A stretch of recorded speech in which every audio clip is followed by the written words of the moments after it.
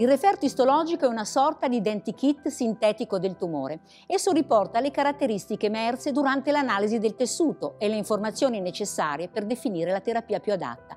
Il referto è formato da tre sezioni. La prima riassume le informazioni anagrafiche cliniche, la seconda la descrizione macroscopica, fatta cioè ad occhio nudo. La terza riporta una serie di sigle che descrivono l'estensione e la natura del tumore.